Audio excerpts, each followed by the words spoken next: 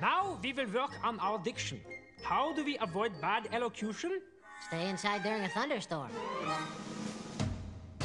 No, no. Elocution, diction, pronunciation. We will work on our vowel sounds. Let's pronounce this.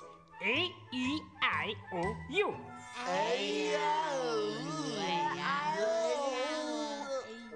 No, no, I want the letters, the letters.